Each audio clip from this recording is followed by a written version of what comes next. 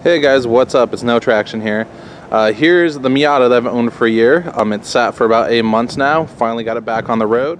And I'll go ahead and uh, tell you what was wrong with it here, but we're pretty excited to have it going finally. Okay, so a little background. Here, uh, about eight months ago, I was driving and it all of a sudden seemed to not have power from about 2500 RPM to about 4000 and then it would start getting back in the, or start having power again.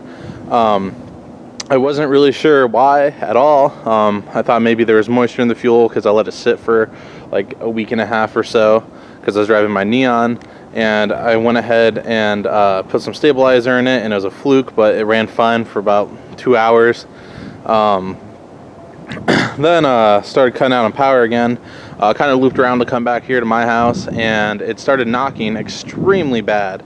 So pulled over, uh, got towed home and then kind of went from there. Bear in mind, I am no ace mechanic by any means. So my first instinct was to check uh, to see if the battery was loose, if there's a ground or anything loose. Um, everything checked out fine. Um, it was getting spark. I checked that.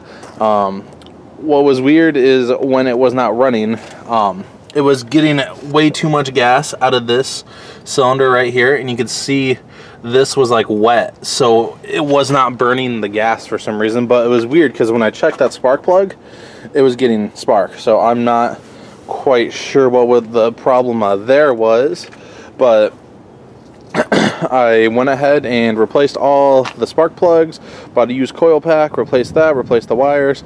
Still had the same issue. Um, let it sit for about a month because like I said this is my winter beater. It was springtime. Um, I didn't really care that much if it was running at the time or not.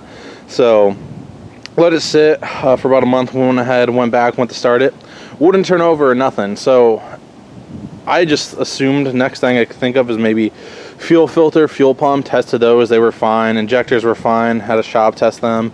They were fine, had no idea what was wrong with this, so this thing sat up until about a month and a half ago when I finally decided to take it to my friend who is much more mechanically inclined than I am and it actually turned out to be the uh, ECU was fried.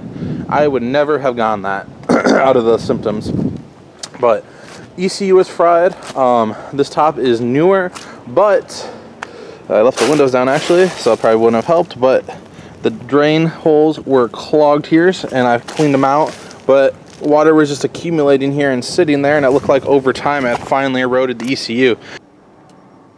And here I'll go ahead and I'll give you guys a cold start real quick. It has not ran in two days, so it might not start the smoothest here. Well, wasn't too bad for how cold it is.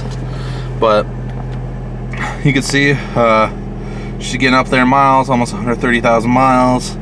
Um, it always has kind of idled a little high since uh, we got the ECU replaced, which is kind of interesting, but something that doesn't really bother me a ton. Um, it's only like 1200-ish, whatever, yeah, 1200-ish, 1300-ish RPM is where it's like stuck idling at, which isn't atrocious, it's just not ideal because when I drive around, it still idles at that. It's not doing it just because it's cold. But yeah, here she is. Um, now that we finally got her up and running, I'm sure you'll probably see a couple more videos. If you like today's video, go ahead and hit the like button. Um, if you'd like to see future videos about the Miata, let me know in the comments. And uh, go ahead and uh, if you give me a subscription, it'd be greatly appreciated. Thanks, you guys.